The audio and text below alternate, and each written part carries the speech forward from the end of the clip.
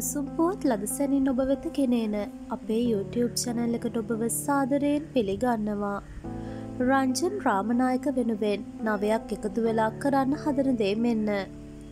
බන්ධනාගාරගතව සිටින රංජන් රාමනායක මහතාට නිදහස ලැබීමෙන් පසු ඔහුට පදිංචිවීමට නව නිවසක් ලබාදීමට පුද්ගලයෝ නව දෙනෙක් ඉදිරිපත් වී සිටින බව වාර්තා වනවා.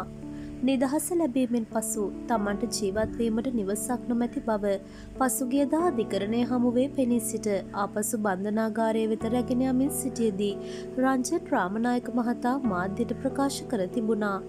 එම ප්‍රකාශය ඇසීමෙන් පසු රාමනායක මහතාට නිවසක් ලබාදීමට මෙසේ පුද්ගලයන් නව දෙනෙකුම ඉදිරිපත් වී ඇත. මෙම පුද්ගලයන් කොළඹ හා තදාසන්න ප්‍රදේශවල පදිංචිකරුවන් වන අතර ඔහු තමන්ට අයත් නිවාස මේ ආකාරයට රංජන් රාමනායක මහතාට නොමිලේම ලබාදීමට ඉදිරිපත්ව සිටිති. මෙම පුද්ගලයන් පවසන්නේ රාමනායක මහතා ජීවත්ව සිටින කාලය පුරාම කිසිම මුදලක් අය නොකර මෙම නිවාසවල ජීවත්වීමට අවශ්‍ය පහසුකම් සලසන බවයි.